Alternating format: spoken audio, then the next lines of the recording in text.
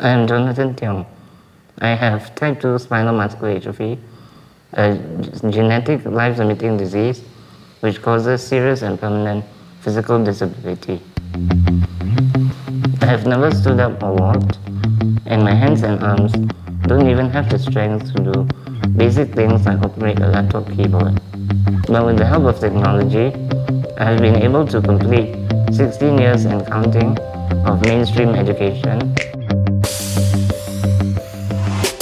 have fun and establish online friendships with fellow gamers across continents, and even build my profile in the professional world.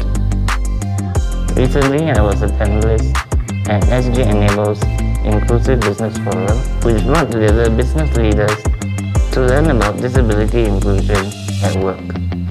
Imagine that I, a 22-year-old university student with no corporate experience, was telling all these high flyers in suits how to make their businesses more inclusive.